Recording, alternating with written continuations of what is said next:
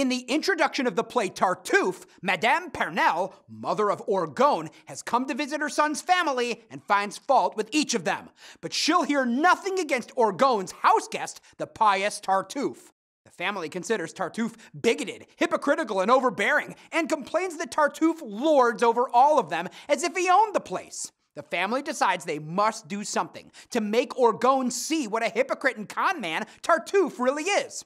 Cleante tries to convince Orgon of Tartuffe's true nature, but fails. Orgon tells his daughter Marianne not to marry her true love Valere because he wants her to marry Tartuffe.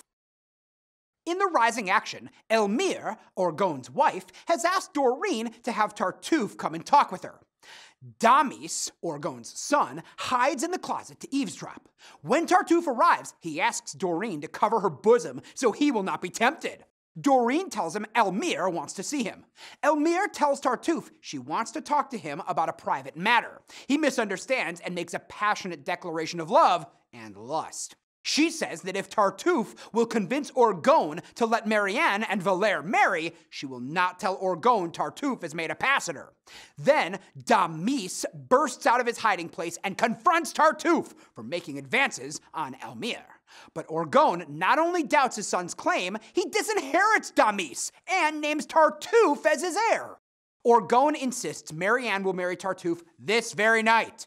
Dorine and the family join forces in a final attempt to convince Orgon to let Marianne marry Valere. Finally, Elmire gets Orgon to humor her and hide under a table while she talks with Tartuffe. Orgon eavesdrops as Tartuffe makes advances on Elmire. Convinced at last, Orgon tells Tartuffe to leave, but Tartuffe, now master of the house, throws Orgon out instead.